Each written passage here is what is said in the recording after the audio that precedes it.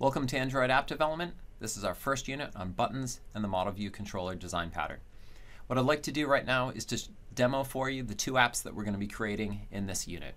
The first is Hello Button.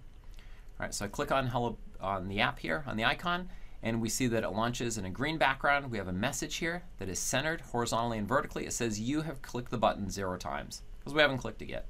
And up top here we have a, a button that says press me. It has a margin around it. Looks like the font size is a little bit bigger than the default here, like 18 point, uh, and an 18 point margin around the button.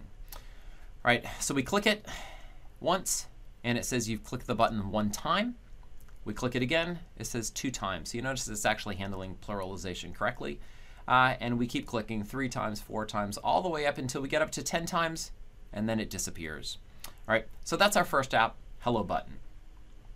Very simple. Second one is Tic-Tac-Toe.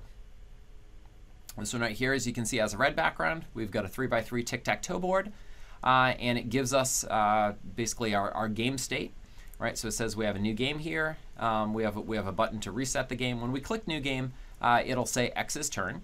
Uh, so what I'm going to do is is click. So X clicks. Um, you know, we can only click on the actual buttons themselves.